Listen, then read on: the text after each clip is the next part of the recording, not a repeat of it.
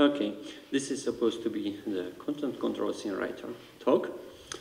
Uh, hello to those who don't know me. I'm Miklos. Uh, I'm from Hungary. I'm hacking on LibreOffice for a while now, um, at, now at uh, Collabora. And this talk will be about uh, content controls, also known as structured document tags from the OOXML specification, and um, how um, they used to be handled in Writer and how that got improved and so on. So what's the feature? Um, the, um, what we try to um, support here is uh, form filling and um, when you fill in some form, like you need to specify your name and your birth date and your favorite color and so on, um, when you type in some tags, then wouldn't it be nice that um, Writer has all this rich text formatting, like you can uh, mark part of the text as bold and custom font size and font and whatnot. And um, um, all this is um, not possible with writer fields because that's really just a dummy character and then we have some string um, stored somewhere about what uh, the field is expanding to. And um, uh, wouldn't it be nice if this would be rather an annotation on, on writer text so that you could have the full formatting and you can have like um, images encoded there and, and all these um, usual things that you, you uh, know from writer. And uh, for additional trouble, uh, Word started supporting this in like 2007. And for all of those documents, in case there was rich formatting there, then we could not um, import that um, to writer perfectly. Um, so uh, given that it can have character formatting inside, uh, that means that uh, we break that into multiple text portions in, in writer. And um, so unlike fields which are always um, um, some static text with no custom formatting, this can be multiple portions although at least for these inline content controls, uh, it's always inside a single paragraph. So if you would like to model that with bookmarks, that would not be perfect either, because bookmarks can be starting at random positions and ending at other random position. A bookmark may start inside the table and uh, finish um, outside the table, or at least in multiple paragraphs, and, and so on. Um, an additional trouble is that um, um, content control support nesting, similar to the meta uh, text attributes we already had in Writer. Uh, so um, if we model this with fields, which would be another candidate, then we have the trouble that you can't uh, nest fields inside each other in Writer because fields are modeled with a dummy character and you can't really hide a dummy character inside the dummy character. Um, so it seems what uh, what is the perhaps the closest is like this meta like text attributes and uh, that can be used to support to enforce that uh, the, um, the content controller stays inside a single paragraph it supports full writer formatting and it supports nesting um, so and then there are multiple types of um, of uh, these content controls. When we don't uh, specify the type explicitly, then this it means this rich text. So that's what you can uh, see at the bottom, like um, the content control may break to multiple layout lines, and even inside um, one layout line, it might have multiple portions, and there is this uh, shading um, to, to signal that uh, you are interacting with the content control, and there is also a border around um, the bounding box of the multiple portions. Uh, note that um, we are done with the rich text. Um, it's more interesting in case uh, we can add like more specific control uh, to uh, the different types. So you can have a checkbox. Um, again, this is like writer text. This is not um, a control shape that you need to manually position and pray that the text around is not getting a layout and then it will not uh, look like the way you want. Um, and also you don't need to like manually search for these characters, like what is the checkbox and what is the unchecked checkbox and, and so on. Uh, because um, when you insert this in Writer then it will set it for you. And if you want something else, like uh, let's say um, a cross mark or a check mark, then you can customize that. But uh, you get something same by default. This was a trouble with, uh, with the field mark based approach, which also had checkboxes, but um, you, we had no UI to insert this. So it's some functionality which is kind of there. It's nice. It's in, not in the UI. Users don't find it, so you don't get bug reports. But it's, it's not really useful because um, yeah, you, you can't really create or modify this. Um, and uh, this is also working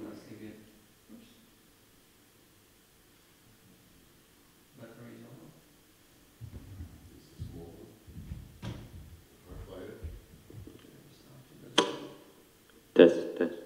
Okay. I should not touch this button. I will turn it this way and perhaps it helps. at least you can watch my fingers.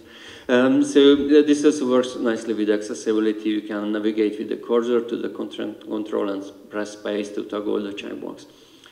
Um, somewhat similar is the drop-down one. Um, so this one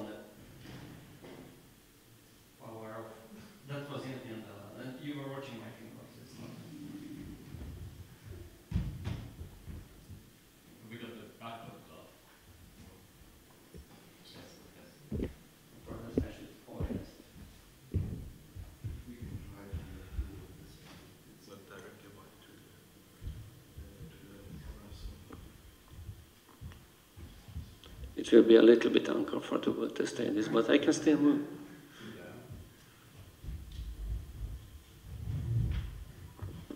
Now this will be a little bit more like a lecture, which is not nice, but at least you can hear me. That's, that's the point. Um, so drop-down content controls. Um, this has a um, number of additional complexities. So what you can see on the screen is um, if you navigate uh, with the cursor inside that uh, drop-down content control, then we also draw an additional drop-down button, at least something that looks like a button. Um, and uh, you can click on that and you get um, um, a list of, um, you, get these list items and then you can choose, let's say, your favorite color. Um, one constraint there is that for drop-down there is no free-form user input, so it's enforced that what goes into that content control is um, one of these list items. And also we have the, uh, we have um, um, display name and the value for each of these items. So this can be nice in case you have some human readable name, and also you have a programmatic name for that. And um, later, for example, with data bindings, you can read the programmatic name, and you don't have to worry if God, perhaps the, the display name was translated or something, then you don't have to adjust your parsing script. Um, and uh, one additional complexity here is that for, for checkbox, you can kind of survive by initially just hard coding your Unicode values for what's the toggled and untoggled uh, Unicode character for the checkbox. But for a dropdown, you really need to provide some UI to uh, create, um, show, modify, and delete those list items. So an additional content control properties dialog is now provided, uh, which initially just had one single checkbox to track if this content control is currently a placeholder or not, because you want to provide in EVR. In case it's a placeholder and you click into that, then we pre-select the text, so it's easy to type it over. Uh, but uh, if you already filled in something valuable, then doing the same would be a bit inconvenient. Um, and uh, then this dialogue uh, gets extended depending on the type of the content control. Um, so for uh, drop-downs, um, you get this additional um, uh, grid where you can specify the items and do the usual operations on them. You can also um, alter the ordering of these items. Uh, the next one is uh, uh, picture content control. Uh, so imagine that you are preparing some CV template and uh, there is a position where you would like to have some uh, picture for the applicant and you want to do pre-formatting of the, um, this image. So you decide where it will be inserted, what will be the size, perhaps specify some good looking border there and so on. You can do this, all this with um, with a placeholder, and then you uh, mark it as a placeholder picture, and when you click on that or you go there and uh, press space in the uh, keyboard case, then um, the um, normal insert image picker is showing up. And um, you can replace the placeholder with an actual image, retaining the original formatting. So again, the, the focus is on uh, somebody with a good taste can, can uh, um, do all the tricky formatting to make it nice looking, and for the end user, they just need to insert the image and not bother with um, how it looks good. Next one is uh, date uh, content control. That's somewhat similar to the dropdown uh, because, um, again, we, we show some additional VCL widgets when you uh, navigate into the content control and you get this uh, date picker. Um, it has some uh, less visible features um, like uh, you can specify the language uh, that's used for, for formatting. Like you get a timestamp from the date picker and you need to present that somehow. We need to turn it to some string. And when you format the date, uh, we, we can have a date format and also we can specify a language. So in general, LibreOffice has a pretty good knowledge about how to do these things. Uh, it's um, more like uh, hooking up this uh, date content controller to do the um, usual date formatting. Uh, then you have the plain text one, like this is odd, like we did this much work to have rich text inside the content control, and of course now you want the opposite. Like let's have one type, which is which uh, locks it all down and make sure that it's plain text. Um, and uh, this only makes sense in case your document is already like um, full of content controls for all the inputs, and then it would be odd to have something completely different, just like an input field, uh, just for one type. So in this case, what you can do is, um, like, uh, if imagine that uh, what's visible here is would be um, some normal um, non-bold text. You make a selection and you make just that single word bold, and then uh, due to this constraint, the um, entire content control will be marked as bold. Um, so what else we have? Combo box. Um, this is, I think this is the most recent type. This is pretty similar to drop down, but this one is allowing free-form user input. Um, so, so, far about like what you can see um, about content controls as a user. Um, perhaps like this is supposed to be the development track. So perhaps uh, you are also interested in like how this is implemented. So I will say a few words about that as well. Um, so when it comes to the document model, it's um, very similar to these meta text, text, attributes, which also like a UI, but otherwise uh, the idea would be that you can mark a span inside the paragraph and you can put some attributes on, or like semantic um, annotation and whatnot on that. Anyhow, the, the, the, the idea is that um, um, there is a content control class which is actually um, storing all these properties, uh, like the type and what are the list items of a Dropbox, uh, drop-down, and, and uh, what is the language of the date formatting, and so on. And uh, once you have the, the core content control, uh, you need to have some kind of pool item subclass because that's that's how we work. Like whenever we insert formatting to Writer text, we work with pool items. Like you have a pool item for a bold text or underlying and so on, so we have a, a pool item subclass, uh, this uh, format content control. Uh, for um, uh, to, to be able to insert content control around some existing text.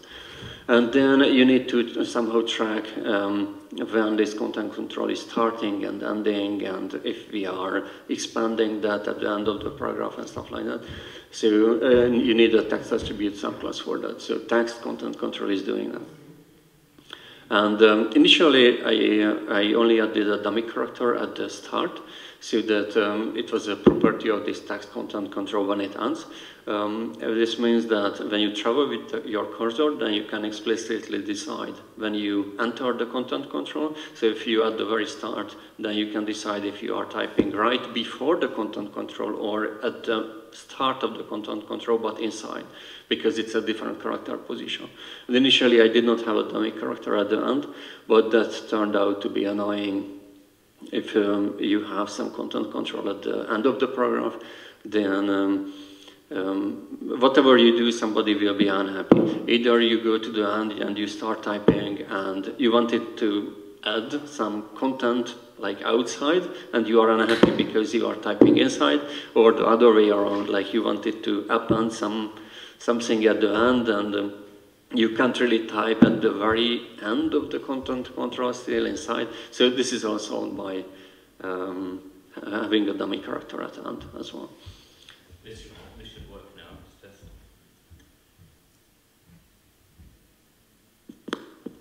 Thanks a lot. It's like I don't know, it's uncomfortable to sit down and not having the ability to walk. Um, and um, yeah, additional, one additional benefit is that we have these problems, for example, with bookmarks, that uh, the bookmarks are just referring to document model position. So in case you have two bookmarks starting at the same uh, position, then it's not really clear what's the ordering. Um, in case we have a dummy character at the start and also at the end, then you just avoid this problem because uh, there is a different document model position if you, um, let's say, anchor some image right before the content control or inside but at its start. Then uh, for the UNO API, that's needed because the whole ODT import and export is mostly working with that. So it's necessary to expose that some, somehow with the UNO API. We have a content control class wrapping the core implementation. Um, also, um, it has a text um, class which is uh, giving you a virtual text object which is just the piece inside the paragraph which is the content control. Uh, so let's say you have like three words in a paragraph and um, and uh, one, the middle word is, um, is the content control. Then you get a virtual text object which looks like containing just that word, even if uh, in, in, practice that's um, one, one full paragraph and it has other content. Um, then for the layout, um, it always works by creating these layout portions. So now there is a content control portion, and uh, that's uh, similar to the text, normal text portion. And that's how the layout knows how to do this shading and, and border around uh, the content control and so on. Um, the border is quite similar to input fields, so that can be um, um, SDR overlay and similar to selections or, or um, commands on text ranges. Uh, for the uh, pop-ups, uh, you need um, a control subclass similar to the um, um page break editing widget uh, because that knows how to travel with the document when you scroll up and down. And uh, we have two of these. Um, uh, we have a drop-down one for drop-downs and also for combo boxes, and we have another one for the date picker. Um, then perhaps you want to save this and load it back. Um, this is, um, as, mentioned, um, uh, this whole content control concept was introduced in OWASP some times. So you can ignore doc and RTF and other legacy formats. Just make sure that you fall back to plain text, but otherwise, uh, no need to bother with the formatting. Um, docx has this SDT markup for this, which is like our document model was intentionally um, created in a way that it's more or less a one-to-one -one mapping uh, from that marker uh, to this.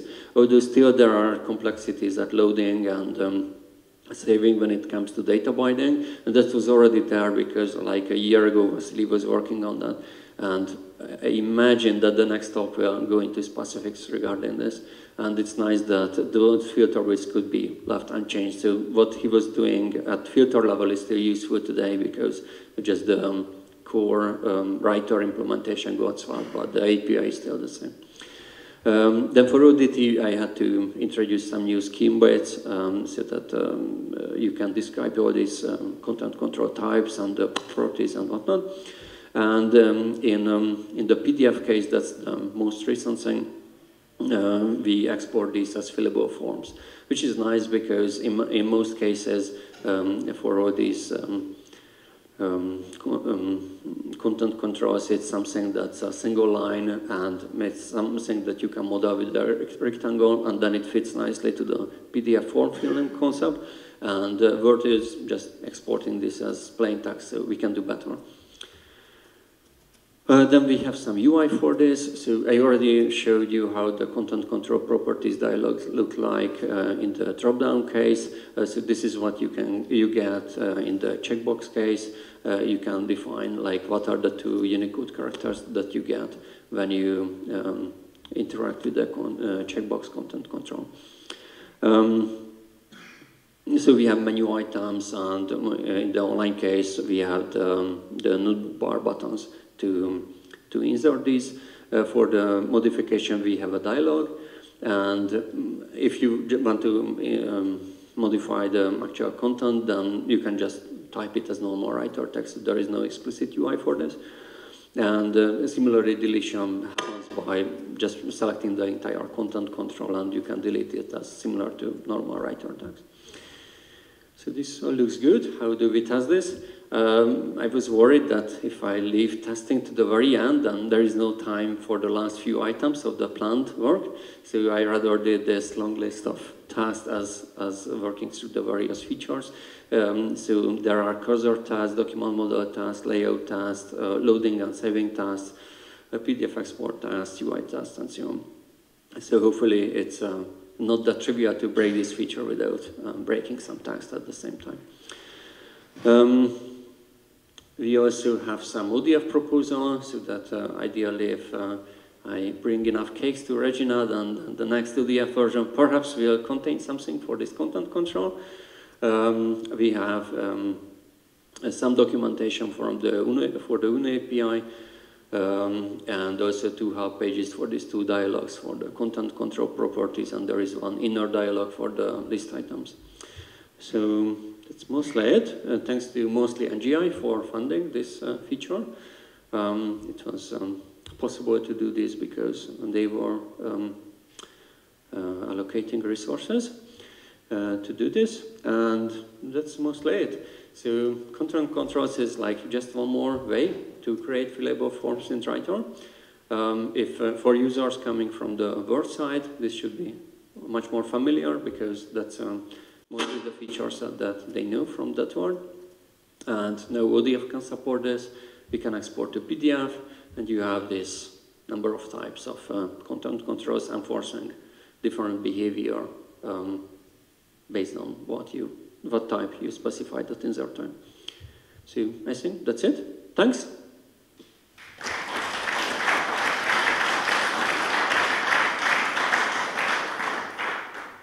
Any questions? Uh, Regina? Uh,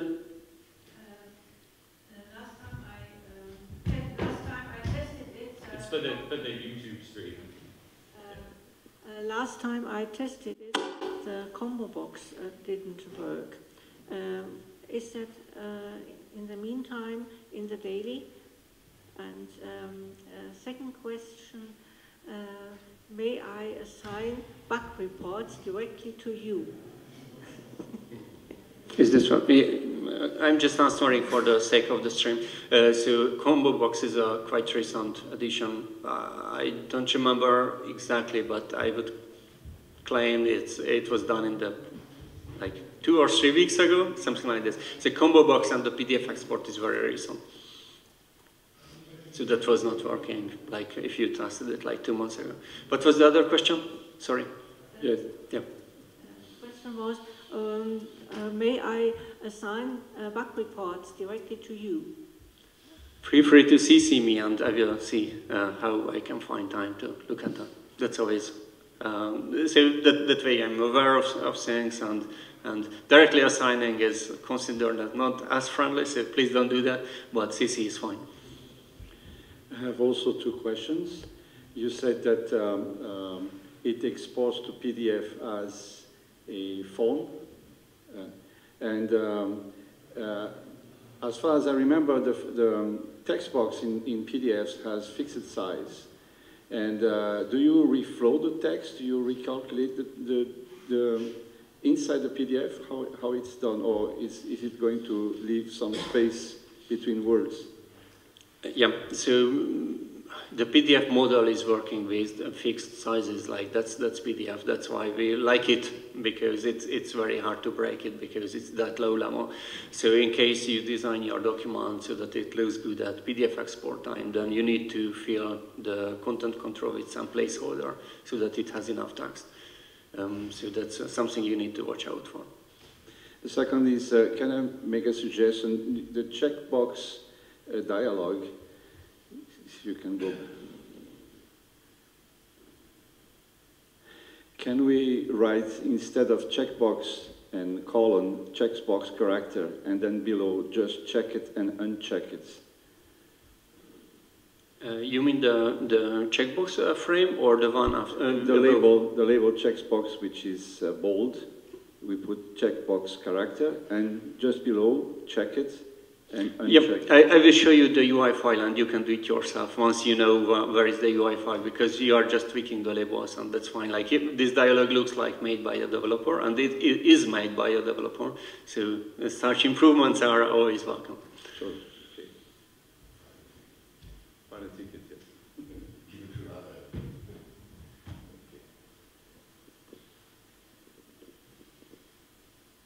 I guess that's all. So thanks again.